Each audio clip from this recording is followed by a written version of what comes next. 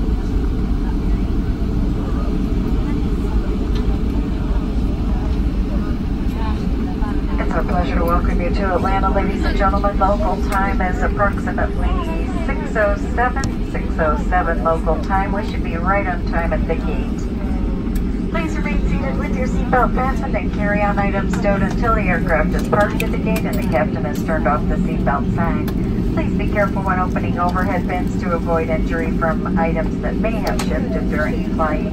Feel free to use your mobile devices.